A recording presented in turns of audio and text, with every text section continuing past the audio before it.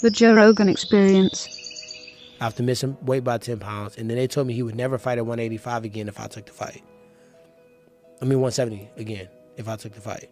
So he lost to me, missed weight, still got the tough coaching job. And on top of that, he was going to get a title shot had he beaten me. But why do you? So you again, it comes to this chip on your shoulder thing. You feel like everybody's against you. No, You do a little. I don't. A I know you want me to, though. No, you do. This is what the, what you're saying. It's the things that you're saying. I'm not saying that. I'm just saying that I know I know the I know the deck of cards I got. And I know how to play these deck of Well, cards. what do you think the deck of cards is? The deck of cards is there's gonna come a moment where I'm a superstar. And when I get to that moment I have more leverage. At this time, I'm not at the point where Conor McGregor's at. So I gotta if I gotta fight the number one contender and I can't vouch out to fight a George St. Pierre or Bisping or a Conor or Nate at this moment, I'm gonna keep whipping ass until I get to that point. Well, after George is beaten right now, George is in an amazing position, right? Yeah. George beats Bisping. If he wanted to, and he dropped the title, but if Yeah. he wanted to come back and fight you for uh, the welterweight title, that's a legitimate super fight right there. I mean, that makes a lot of sense. You think particularly coming me? off of his big fight? I, you don't think he does? Look, you tell me. you think George wanna fight Look me? at your face. George had You the chance me. George had the chance to fight me before Bisping. He chose to fight Bisping. well, maybe he felt like that was a better fight for him to come back with. It was definitely a better fight because if he would have came back against me looking like that, George would have been right back in retirement. He he did not look great. Bisping did not look great. Um, one thing that helped George in that fight, his experience. He loosened up. He was a little uptight. You know, I- he hadn't been in the octagon what four years almost. Uh, a little over two. Yeah, you know, a little Um, no, over three, right? Was more than that. was right? it four? It was almost four. It wasn't quite four. It was almost four. Because I fought November. I fought November UFC. It was the 25th anniversary. No. I think you're right. I think it was like four. because I fought four Koscheck on the card. Yeah. Okay. You know, yeah, that's a on long ass cards. time. So he, for him to not fight that long, I don't care how much you train. Your ass in a fight. You don't have a training camp. Focus on a person. It's tough. So when he came back, I saw the experience kick in. He relaxed a little bit. That's when he faked, landed a left hook. Had he not relaxed, I mean, you know, who Mm-hmm. Right. knows what would have happened? You know what I mean? Right. Yeah. It was a. T- it was interesting because Bisping was tight, and I expected I expected him to be looser. Big Bisping doesn't have the the. I mean, he's not guys out, but he's not a guy that you know you're thinking of like a Rumble or, or Ngannou Right. or myself or somebody one-shot or guy. Stephens, uh, Jeremy Stephens, somebody Right. that's going to touch you and it's over with.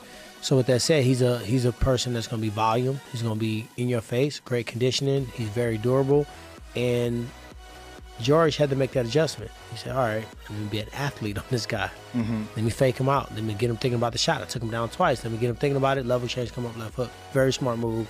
And that's something that the experience of being a champion um, allowed him to do. Well, there was some talk about him fighting Conor, but I didn't hear any of that from the official people. Yeah. And him fighting Conor at 170 pounds would have been fascinating. It's in terms of like, it's a terrible matchup for Conor. Yeah. You know, in terms of like just physicality. But once again, risk and reward. What happens if Yeah. you lose to the greatest welterweight of all time? yeah. People gonna people gonna torture him about it. Yeah, but Conor doesn't want to lose another fight right now. Like this is not a good time, especially in his division. There's so much talent. Like right now, You think at you think he want to see Khabib right now? That's what I'm saying. That's what I want to see. You think he? Tony? You think? what you about think, Tony? You, th- I mean, Tony's a.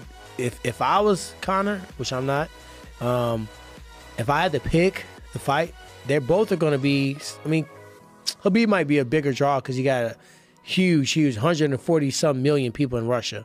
Might be a bigger draw, but they both are very annoying fights. Very dangerous fights. Dangerous. Tony Ferguson, you know, it don't take much for him to find a way to get around your neck and choke you. He's He always doesn't get tired. he doesn't get tired. He looks like he's losing fights, and he don't care. His striking is very awkward. Um, he can really do what Nate Diaz did to Conor. Yeah. And Nate Diaz, you know, baffled him like, "Damn, I hit you with everything. You still around?" Then Conor went for the damn shot. The same thing's gonna happen if you do that to Tony. Tony's gonna submit him. Here's Um, my prediction. My prediction: Conor doesn't fight for a while. He watched those two They fights. strip him. They strip Connor. he comes fight me. Khabib and Tony fight for the world title. For you, you're in a situation. I don't think either one of those guys are in the cars right now for you. But for you, who Don't do you try to mess at up my dreams. Well, what's your dream? Tell you know me what? your To be dream is. honest, is um, you know, my dream was to really, I wanted to, I wanted to fight George, and I that's feel still like, possible. I feel like if I fought George, I can legitimately say I'm the best welterweight of all time if I beat him. It's still possible. George I'm hasn't with it. retired. I'm Has he it, said anything about you? he asked one time on a like Fox Q and A where he was gonna like, so Tyron, if you fought, what would be your game plan?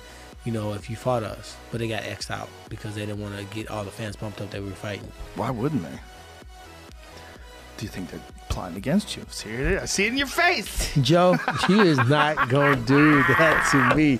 I am too bright, mother. You're not going. You want me to be like uh, the people who No, are I against me. Listen, I, I want, I want you to just be focused. You want me to be real? I d- yeah, You sure, want me to be real? sure. Do I think that the people want to see me lose? No, I don't think they want to see me lose. Do I think that sometimes I'm a pain in the ass? Yeah, I am. But in business, at one point in any business, does not the person that's doing the business not want their best interest. So if I'm an athlete and I'm looking out for my best interest and I'm trying to put myself in a position where, you know, I can fight, become a legend, become a Hall of Famer, I should do that. If I want to be paid appropriately, I should do that.